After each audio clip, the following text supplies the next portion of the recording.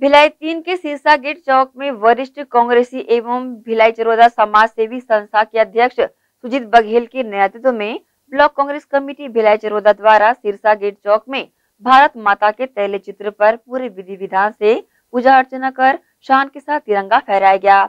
इस अवसर पर निगम महापौर भी शामिल रहे।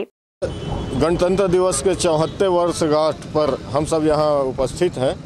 जैसा कि हम सब जानते हैं कि गणतंत्र और स्वतंत्र। स्वतंत्र होने के बाद ढाई साल के अथक प्रयास और विभिन्न महान देशों के संविधान से लिखित सबसे बड़ा संविधान हमारे यहाँ डॉक्टर भीमराव अंबेडकर जी ने बनाया, जिसमें हमको समता का अधिकार, मतदान का अधिकार, विभिन्न धर्म जातियों में बटे लोगों को समानता का अधिकार दिया। इस समतामूलक समाज में हम सब आज बहुत गर्व के साथ निवासरत हैं और स्वतंत्र आबो हवा में हम सांस ले रहे हैं।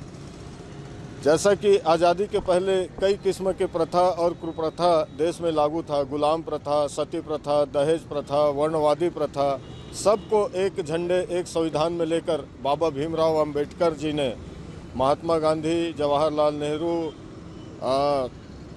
सरदार वल्लभ भाई पटेल आदि सब के अथक प्रयास और मार्गदर्शन से आज हम इस संविधान के झंडे तले निवासरत हैं। हम सदैव बाबा साहब भीमराव अंबेडकर और हमारे महापुरुषों का आभारी रहेंगे।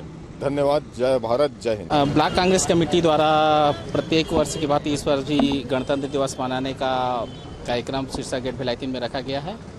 और हमें तो आज़ादी पंद्रह पंद्रह अगस्त उन्नीस सौ सैंतालीस को मिल गई थी, लेकिन व्यक्तियों के मूल्यों मूल्यों का अधिकार एवं समानता का अधिकार हमें छब्बीस जनवरी 1950 को मिला।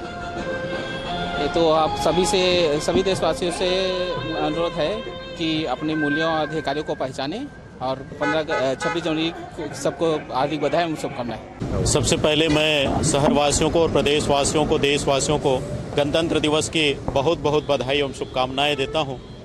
भिलाई तीन के सिरसा गेट में हमारे कांग्रेस के साथियों के द्वारा वर्षों पुरानी ये परंपरा रही है। जो भी नगर के गणमान्य जन हैं, उनके माध्यम से यहाँ पर ध्वजारोहण का कार्यक्रम किया जाता है।